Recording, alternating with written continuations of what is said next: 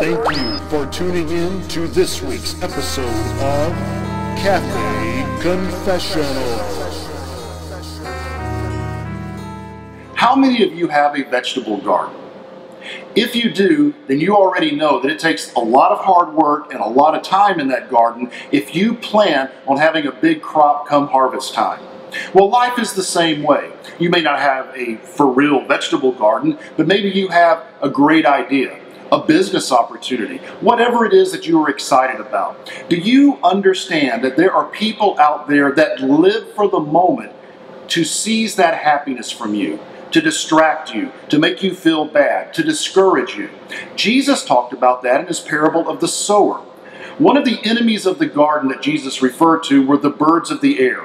The birds are going to steal seed. It's just a fact of life. You have a choice when this happens.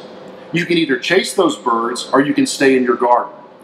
Here's some advice for you today if you opt to chase those birds, to chase those distractors, to go after those people that have put you down or say that this won't happen or this won't work for you, you leave your garden.